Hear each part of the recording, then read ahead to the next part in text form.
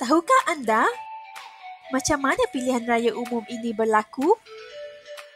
Bila pula pilihan raya umum yang pertama di Malaysia berlaku? Kita menentukan siapa yang mewakili kita sebagai wakil rakyat untuk menyuarakan keperluan dan kehendak rakyat melalui pilihan raya. Sejauh mana anda memahami tentang pilihan raya di Malaysia? Membuang undi untuk memilih calon setiap lima tahun? Ataupun ceramah-ceramah mega ketika tempoh berkempen?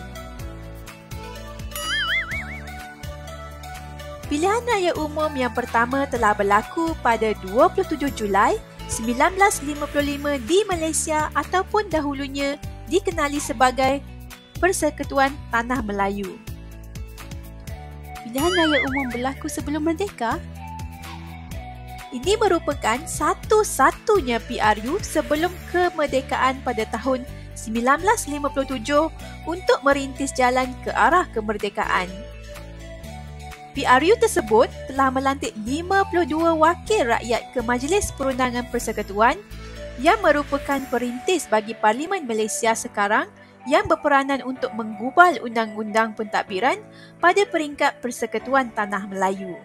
Tahukah anda sebelum PRU 1955, terdapat juga pilihan raya Majlis Bandaran yang pertama berlaku di Bandaran Melaka pada 1951, Bandaran Georgetown pada 1951 dan Bandaran Kuala Lumpur pada 1952. Kenapa kita perlu pilihan raya? Pilihan raya merupakan satu proses demokrasi di bawah sistem pemerintahan demokrasi berparlimen untuk memilih wakil rakyat bagi memerintah dan menentukan masa depan negara kita.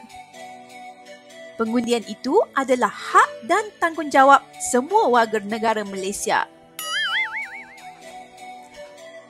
PRU berlaku apabila parlimen dibubarkan atau terbubar dengan sendiri selepas tamat tempoh lima tahun.